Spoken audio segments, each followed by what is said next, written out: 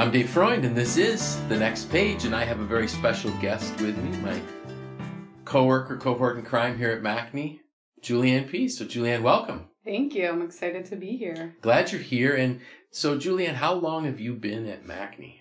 I've been at MACNY for a little over a year, which is exciting. We've been doing a lot of great things here, so Great. And you recently received a promotion. A promotion. I did. So I'm now the it's a mouthful member en- or manager of member engagement and community outreach. Wow, member manager of member engagement and community outreach. Does Yes. that have to be like continued on the back of a business card, or is Almost it just another line? Almost. That's great. So tell me, wh- what does that entail? So I work with a lot of our members, our individual members, and planning events um, for our members and making them really awesome experiences for them to come to. Um, and always trying to find ways to make the membership better for our members so that they're getting value out of it. Awesome, great. So, and where did you work prior to joining MACNY? So before MACNY, I was in a slew of places. Um, I was actually in Philadelphia for college, so I stayed down there and worked um, for it was Cradles to Crayon. So that was my first real job out of college. It was a nonprofit and did volunteer management and um, some fundraising there. And then I was at a bank, um, Beneficial Bank. They're the largest uh, and oldest bank in Philadelphia Okay. and I worked in corporate giving there.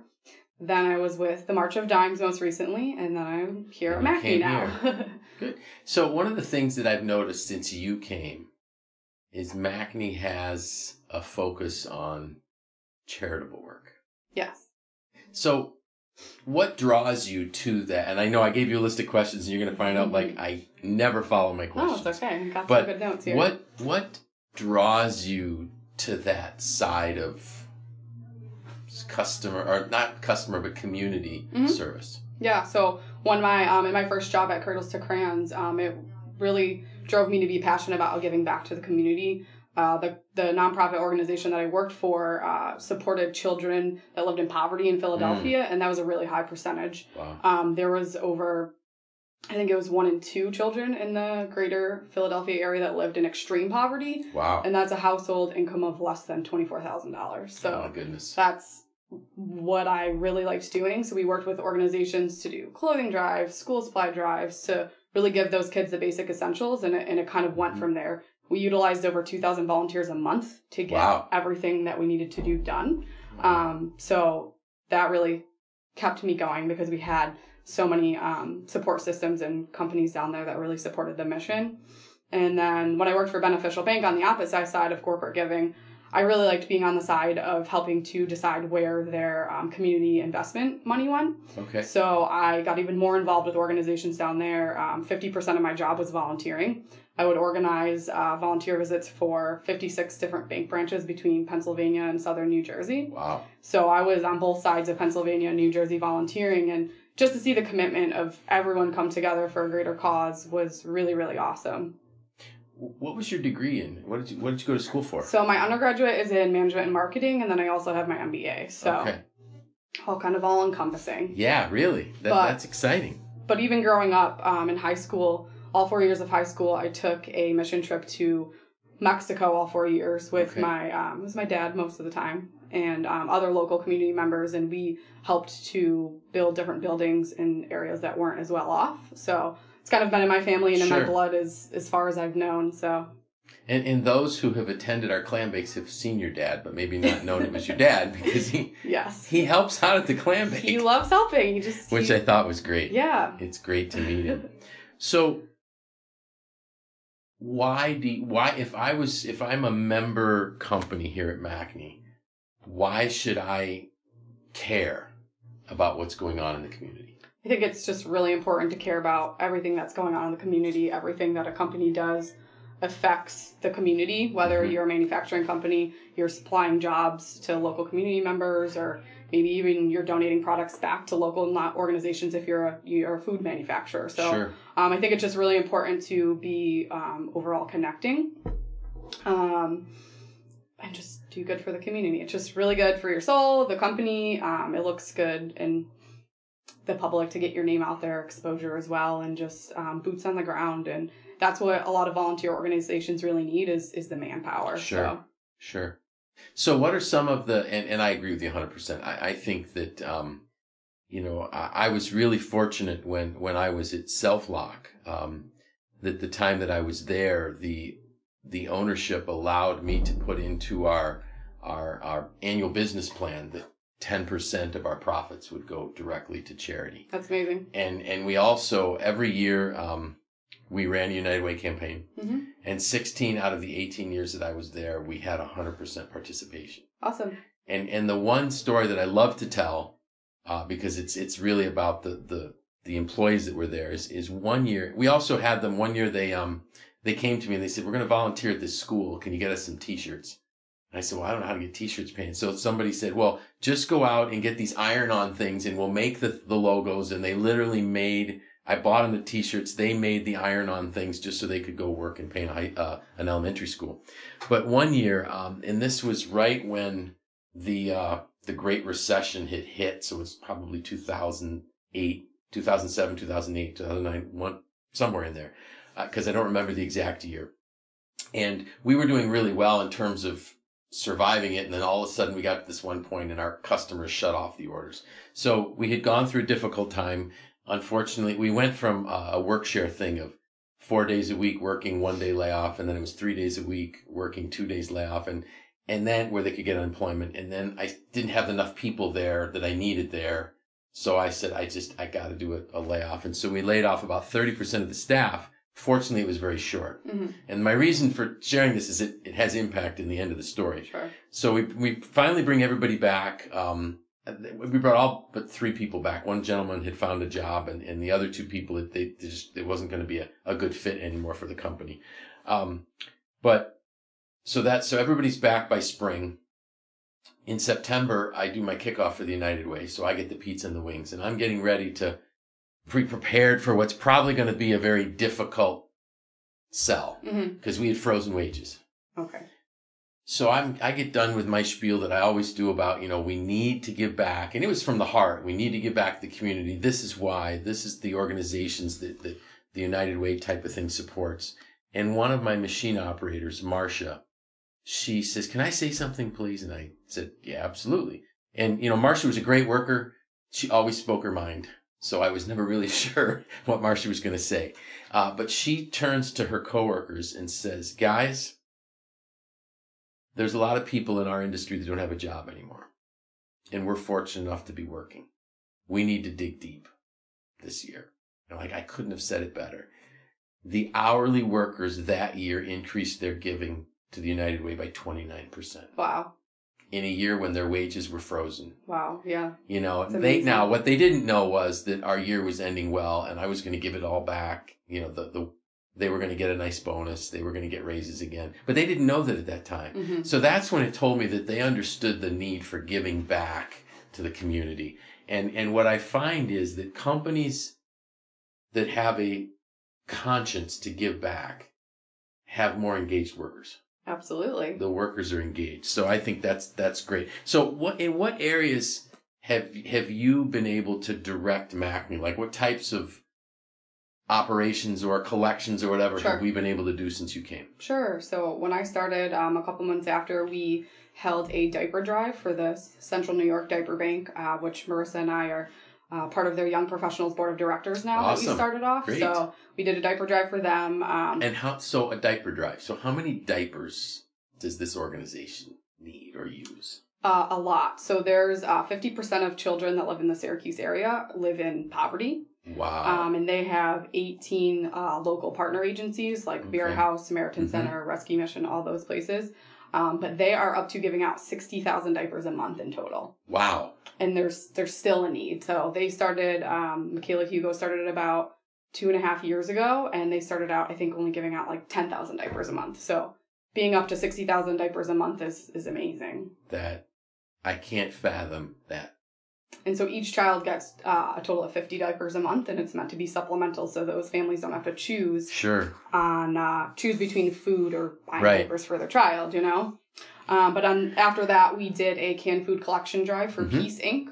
Uh, that coincided with our post holiday reception, and we thought like, oh, who knows? We'll get a We few cans we'll of get beans, a few. right? You never know, but we got so so many cans. It was it was an overwhelming amount of stuff, and um, every everyone whether they came to the holiday reception or not, dropped off donations, and I think all of our members just really liked participating in that. Um, Yeah. and not even just around the holiday time. So after that, we did a school supply drive that coincided with our clam bake. We did a sneaker collection for the Arc of Onondaga, hmm and we did a blood drive most recently.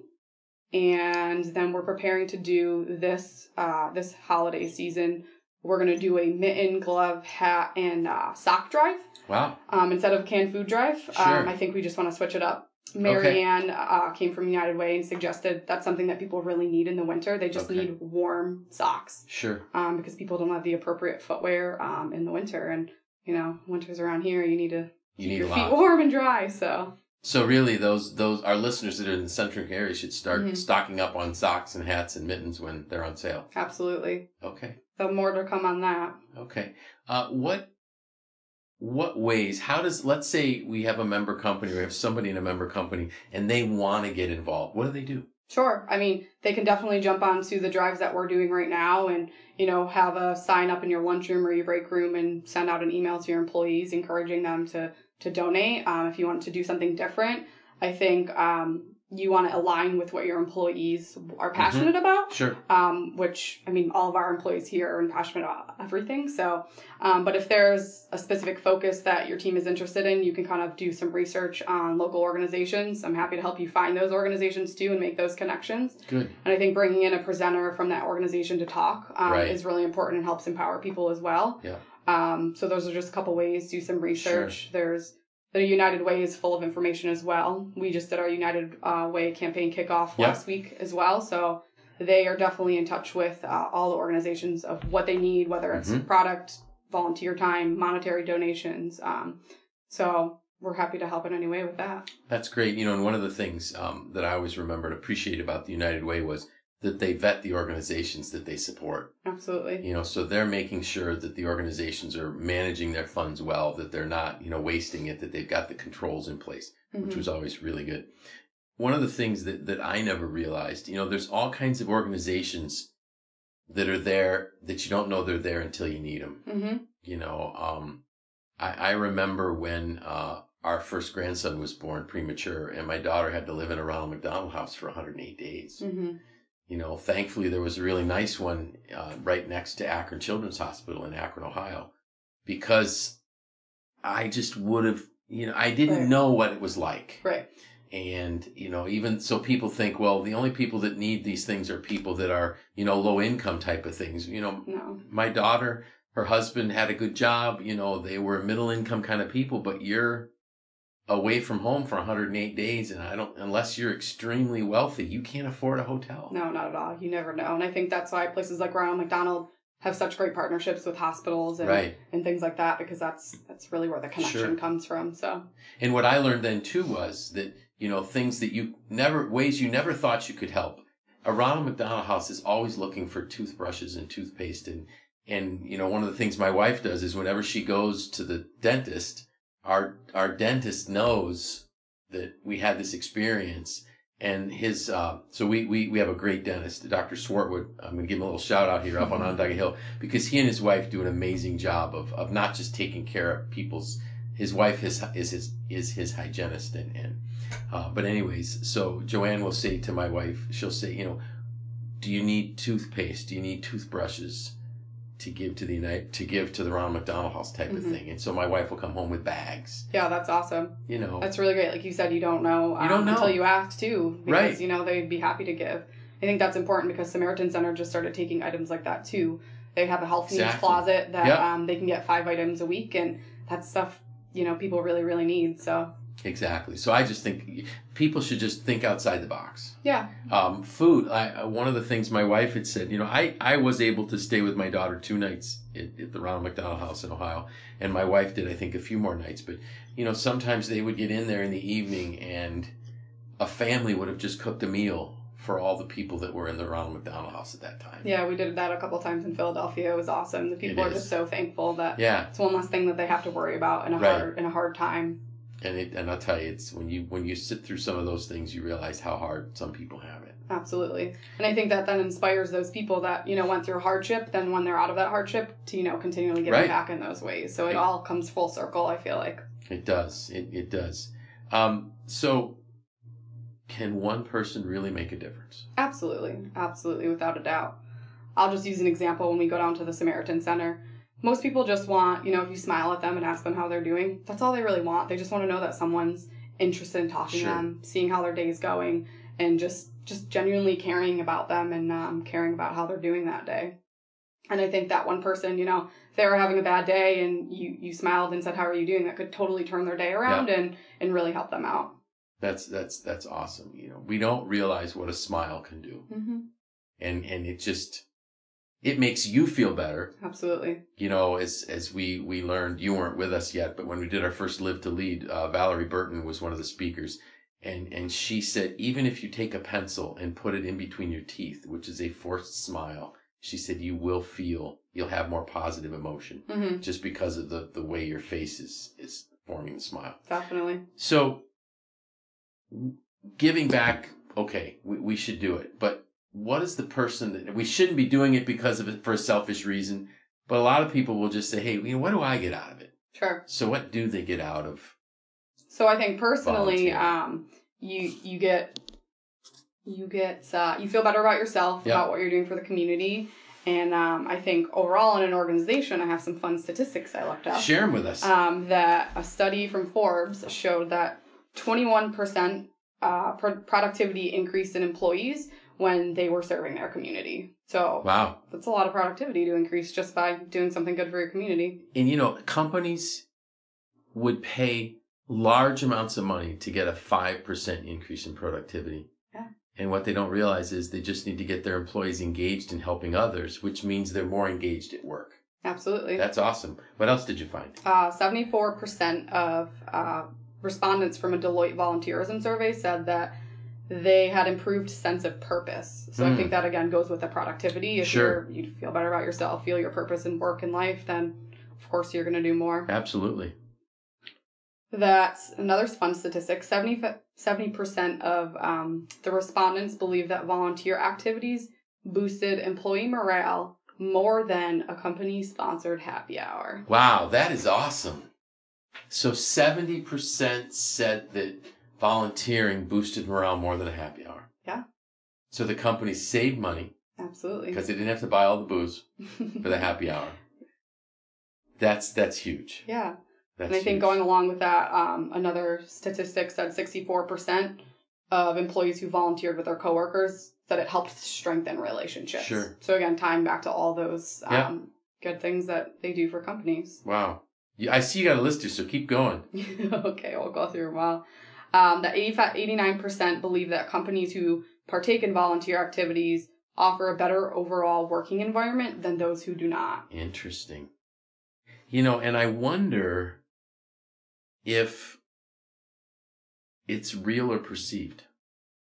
You know, it could be that those companies that are focused on the volunteer things just are, are focused more on making sure their employees have a better environment. Yeah, But I'm wondering if the employees, so it's one of those things where you don't realize how good you have it until you see somebody who doesn't have it so Sure. good. So it, it's interesting, but clearly it's, I mean, it's 89%. I think I think it, it really is. I don't think it's perceived. When I worked at Beneficial Bank, I mean, everyone was on board. They really enjoyed doing what they did. They loved their jobs, Okay. and you could just tell it when you walked in the building, when you go in the bank That's branches. great. You know, they really just wanted to serve their customers better, and they did that through. You know, they had their clients and their customers doing the giving back as well. So, Wow.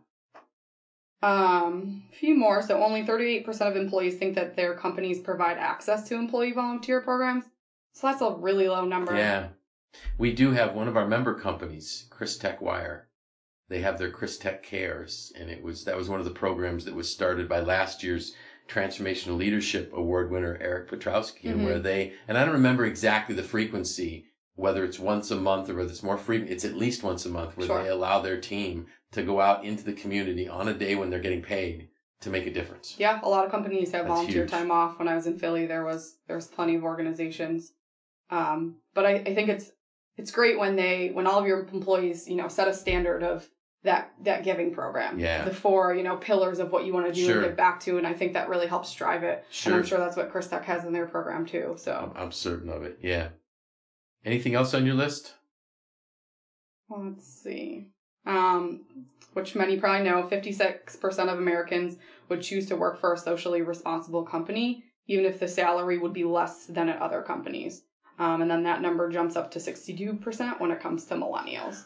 So I think, you know, being a millennial, Yep.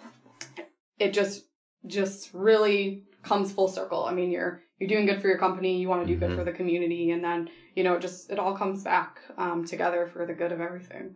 That is, and you know, I, I'm I'm one of those people that believes that communities offer manufacturers that's and that's our primary focus area.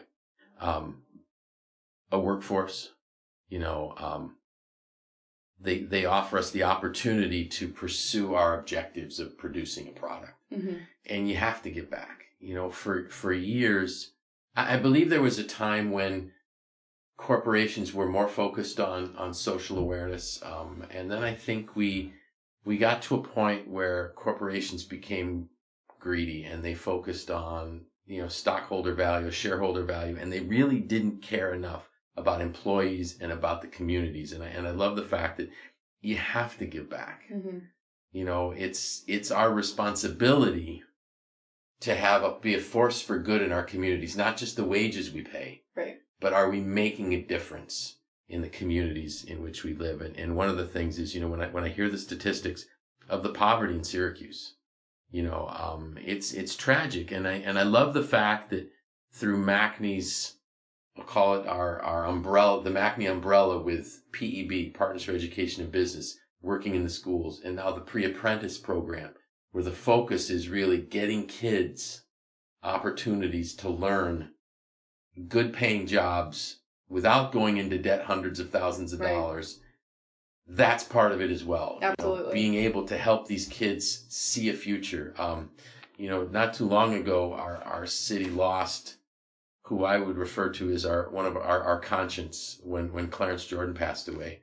Um, but Clarence, you know, for our listeners, they, they know what he did with the rescue mission. And then he went on to, to work with, to start, if I'm not mistaken, Mercy Works, which has the Vision Center, which is about, a whole point is giving young people a vision for the future. Right. And, and I just think that it all wraps up here. And, and I remember when I went to the calling hours for Clarence and I spoke to his wife, you know, um, there's a big hole in central New York. And it's such a big hole with Clarence gone that not one person can do it. Right. So we need everybody to step up Absolutely. and see what they can do to do their part, stand in the gap. And clearly the statistics you gave us, and, and those are the same statistics, you know, that are in my post that came out this morning as well. It's the right thing to do in terms of business, not just the social piece. Right. And I like the fact that, that here's evidence again that if organizations take care of their people and their community, they will be successful. Definitely. Anything else you'd want to say to us, for us? No, I think that's about it. I think we covered everything. But if anyone needs help uh, with a vol- starting a volunteer program or anything like that, feel free to reach out to me. Happy to help and connect you with a lot of our local nonprofit organizations. Super.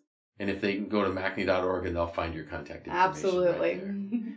How's Marisa? Marisa is good. We just saw each other last night at a plant night fundraiser for the diaper bank, Wow. which was really fun. So a made a- plant night fundraiser. Yeah, it was a little terrarium that we made, and um, the tickets were fifty dollars, but then fifteen dollars of every ticket was donated right back to the diaper Super. bank. hmm Super. And we did a couple raffles, and we were able to raise over um, six hundred fifty dollars. So awesome. with our young professionals group, so So she's doing well. she's very well. Little girls are doing well. Yeah, both the girls are doing well. Good. Can't wait to see what they're going to be for Halloween. Not That too far fun. away. That would be awesome. Do you think we might get a, a, a peek?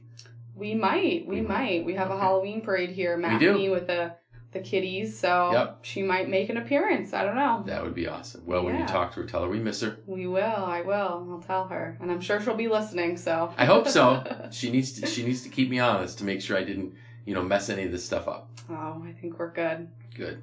Well, thank you so much again. And uh, so with that, I'm Dave Freund, and this was the next page.